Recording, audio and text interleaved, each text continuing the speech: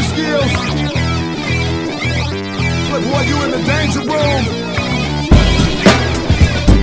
Yeah, you in the danger room. Come on now. it's like a dream. Everything moving fast, but you